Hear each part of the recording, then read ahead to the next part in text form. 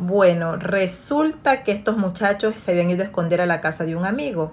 Entonces ellos pasaron la noche ahí y la mamá de este chico, donde ellos se fueron a esconder, se dio cuenta pues que esta pareja no se iba de su casa.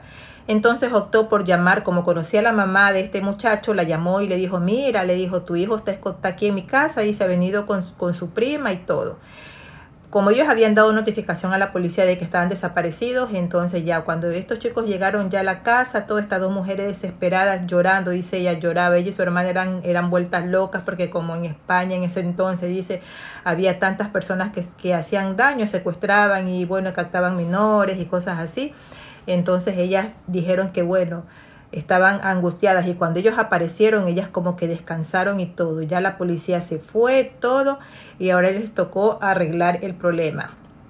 La hermana, la que sabía que el hijo le había fracasado a su sobrina, ella, porque el otro niñito le había conversado a la mamá, pero esta señora no le, no le conversó a su hermana lo que había pasado con, la, con esta chica entonces ella le preguntó al hijo, le dijo, ¿sabes qué? Dice, tu hermanito dice esto, esto, esto de ti, dime la verdad. Entonces ahí este chico le confesó la verdad, que sí, que él mantenía una relación con su prima y todo.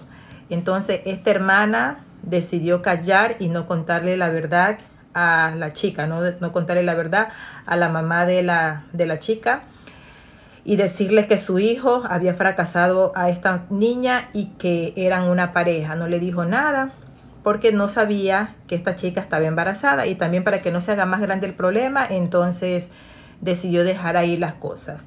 Ahora, cuando ya la muchacha, porque esta, esta chica comenzó ya a presentar síntomas de, síntomas de embarazo y todo, entonces la, la, la tía se daba cuenta que algo raro estaba pasando con esta chica entonces decidió mandar a su hijo a Colombia. Su hijo de 16 años lo decidió regresar a Colombia con el papá.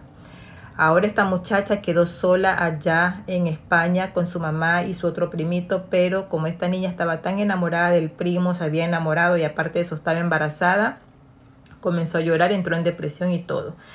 De ahí un día se desmayó delante de la mamá, la llevaron al médico y se dieron cuenta que esta chica estaba embarazada ya de cuatro meses. Ahora sí, estas dos hermanas entraron en problema y se armó el relajo. Like para la parte 4.